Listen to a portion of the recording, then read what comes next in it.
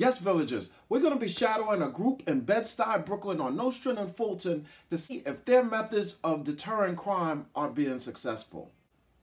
If you're new to this channel, welcome to our village. If you're a returning villager, welcome as well. So, let's get into it. Welcome to Garden of the Mind, where we reduce stress, improve our health and fitness, and improve our financial IQ every episode. I, I now am the founder of Men Talk, but I'm really not. I'm founding the, the, the organization, but I'm just hosting now. It belongs to the men. And yes, we do have sisters, but they're not as uh, present right now. We're uh, uh, collaboration of men all throughout the borough. Some even come as far as um, Harlem and the Bronx, but we're here. We're uh, a group of men of color who say we want to be present, we want to be change agents, and we're out front and we're present to be what we're looking for. Came out here today to meet the community, to have conversation with the community, to let the community know what our origin is, our natural origin as this awesome community that we are. You know, sometimes we lose sight of where we are. Sometimes we lose sight of what we have. And so that what brings me out here to say good evening, good morning, good afternoon. How you doing, brother? How you doing, sister? You know, that listen, we still here. We, are still people, people. Basically, we want to be able to make our presence known in the community. That's number one. Number two, we want to join uh, in a unified fashion with the members of the community. Two, we want to establish some, something on the terms of like a block watch, because during this time, uh, the, the, PM rush hour, uh, a lot of craziness kicks off. So, especially on this corner. So, we want to make sure that our presence is here so that we can keep an eye on the block. So when something breaks out, we can assist. If, if we call 911 or we can help stop somebody from robbing somebody else or whatever. You know, we, scripture in the Bible asks the question, are, are we our brother's keeper? And the answer is yes. We're trying to keep a hold of our brothers and sisters in our community. What brings me out here, my brothers getting to get out be more involved in the community than we are right now. We hope to accomplish change. We, we hope to accomplish uh, being more unified, having more unity in our community. Um, that we have, we know that there are problems, but we have to be part of the solutions. We have to come up, not only come up with them, but execute them. Conversation, dialogue, understanding, answers, solutions.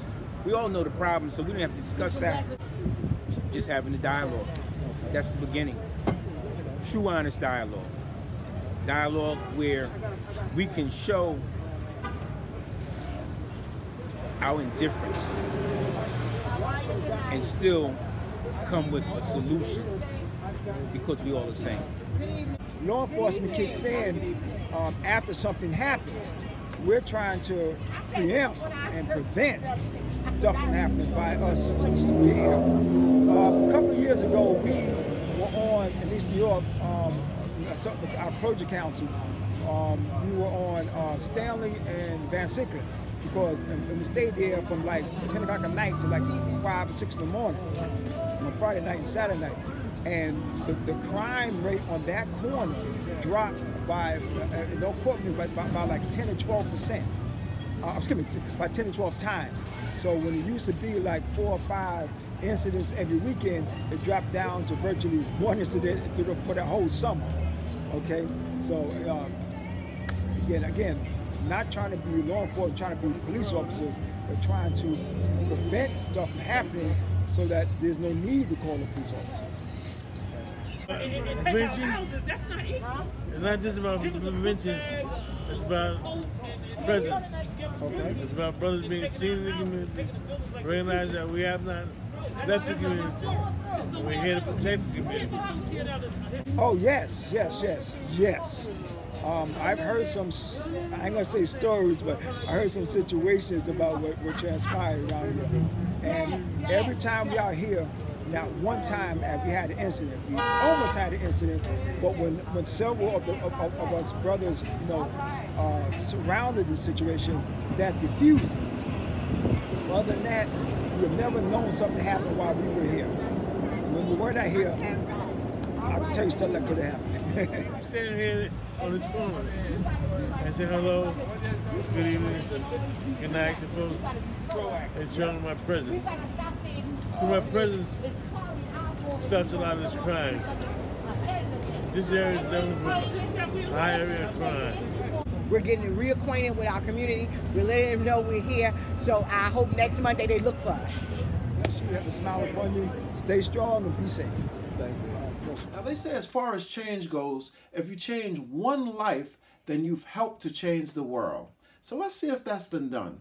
Well, I came out here to switch my phone company, but I ran into you fellas and I heard you guys speaking positive message, and that's what I'm about, positivity, and bringing awareness to our community that we need to change, and only how we can make change, we got to start with within our own self. And that's what I need this brotherhood right here. Y'all stand for good and positive things. I stand for positive things in my community, but I'm a woman and I need strong men to back me up. You brothers. So to me, it wasn't by accident I ran into y'all, it was by faith. Okay? I was supposed to been come over here, but I didn't. I stopped to get some fish. but God put people in the right place at the right time. It wasn't meant for me to come over here when I first came to Nostrand Avenue. It was meant for me to come over here now to hear the brotherhood speak and speak positive message. And I'm standing online and I heard what you guys were saying and it, it touches my soul. So I came out here to introduce myself and to get to know you guys. And I'm thankful and grateful. How you doing tonight? And if you can please give me some type of assistance, some help, and come speak to the young brothers in my community because that's what I'm doing.